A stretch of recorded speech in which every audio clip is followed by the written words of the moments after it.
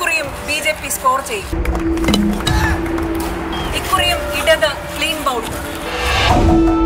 ഇപ്പൊ നമ്മൾ ഹിന്ദുത്വയുടെ അടിസ്ഥാനത്തിൽ ഭരണഘടനയെ ഇന്റർപ്രറ്റ് ചെയ്ത് തുടങ്ങുന്നു എന്നുള്ളത് ഭയങ്കരമായിട്ട് പേടിക്കേണ്ട ഒരു കാര്യമാണ് ശശിതരൂർ പറയുന്ന കാര്യങ്ങളിലെ ചില ഭാഗങ്ങൾ മാത്രം എടുത്ത് അതിനെ വളച്ചൊടിക്കാൻ ശ്രമിക്കുന്നിടത്താണ് ഈ പ്രശ്നങ്ങൾ തുടങ്ങുന്നത് രാമനെ ആരാധിച്ചിരുന്ന മനുഷ്യനാണ് ഗാന്ധി. അപ്പോൾ ഇനിയിപ്പോ നാളെ മുതൽ ഗാന്ധിയെ മുഖ്യ ശിക്ഷകായിട്ട് എല്ലാവരും പരിഗണിച്ചു യുവജനോത്സവം നാളെ വൈകുന്നേരം അഞ്ചു മുപ്പതിന് ഏഷ്യാനെറ്റ് ന്യൂസിൽ.